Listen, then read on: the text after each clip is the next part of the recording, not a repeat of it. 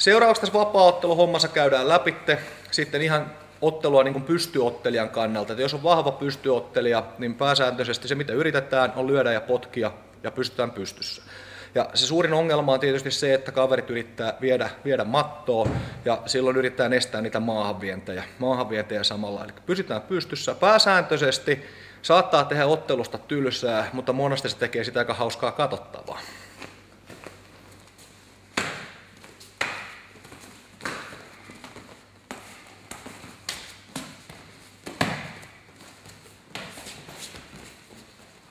Pystyottelija painottaa yleensä lyöntejään, sillä varsinkin korkealle suunnatut potkut altistavat vapaaottelussa usein vastustajan alasvienneille.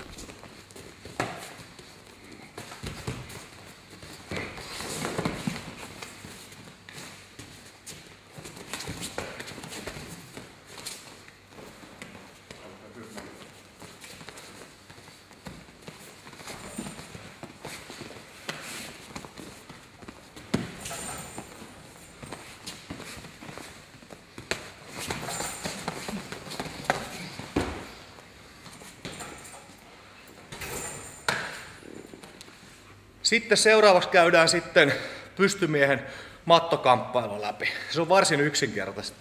Siinä on pääsääntöisesti yksi asia, nouse pystyyn. Mutta ongelma on se, että kun ollaan selällään, se pystyy nouseminen on monta kertaa hankalampaa.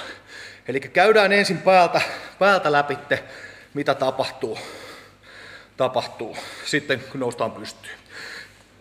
Eli tota, nyt tilanne on se, että kaveri on mattomies, ja vetää syliin, jotta saa pystymiehen mattoa. Se on ensimmäinen, mitä käydään läpi. Eli tehdään sillä lailla.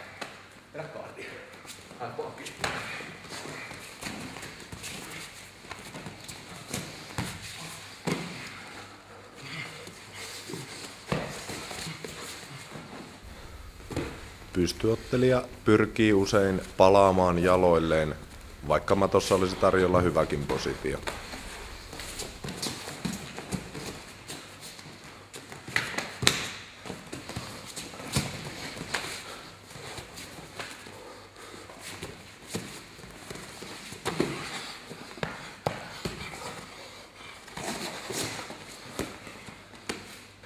Ja seuraava, mitä sitten tehdään, on, mitä sitten, kun käykin akuankasti. Kaveri vie mattoa. Yritetään päästä jollain sieltä pystyy. Ja se on tässä pystymien se hankala rooli tässä näin. Hettele vaan, hettele vaan.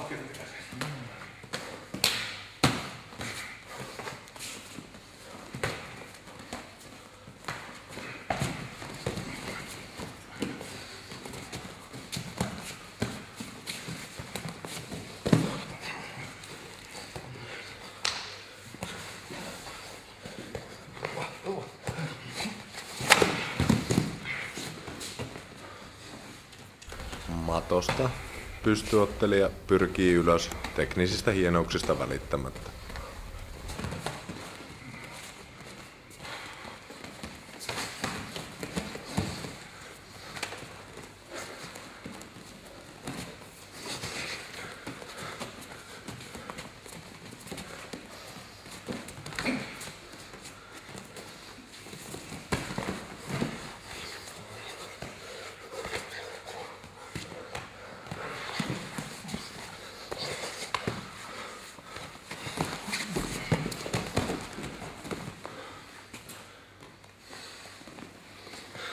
Hyvä. Eli siinä oli nyt sitten vapaattelun pystyosuus. Perusasioita pystyottelijan pystystä ja matosta. Eli eiköhän se siitä.